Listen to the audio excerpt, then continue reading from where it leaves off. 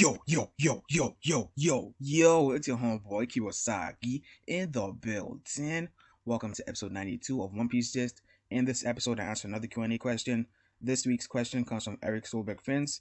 He asks four different questions, so I'm going to pick one, then I'll move on to the next person, and we'll come, you know, back to the rest of his, his questions when I've gone through, you know, at least one question from everybody else. So that's how we're going to do it, because otherwise in future, it's going to have, you know, paragraphs of questions and you know people are to wait for years before I answer their questions you know what i'm saying?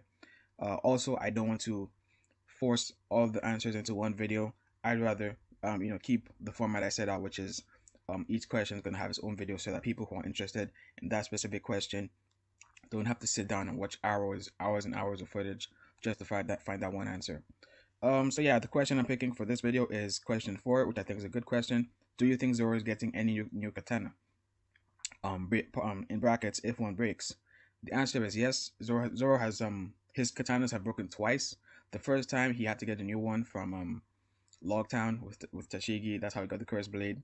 The second time, um, his sword got broken and Enies Lobby by one of the no, it wasn't a vice admiral. It was just a captain, but he had the sort of rust rust fruit, and so he rust. You know, he used rust to sort of break Zoro's sword.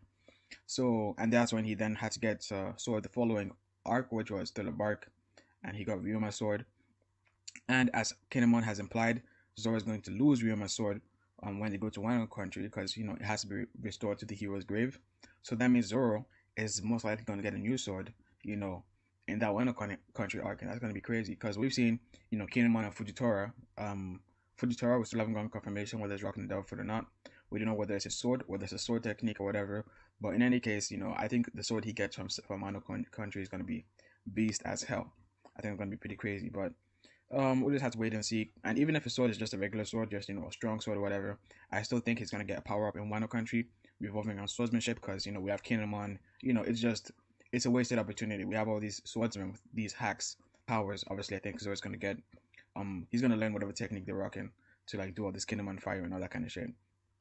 So yeah, that's pretty much it for this video. You know, um, simple question, simple answer, and um, yeah, looking forward to the next one. Thank you for chilling all the way to the end. Like, comment, subscribe, all that good stuff.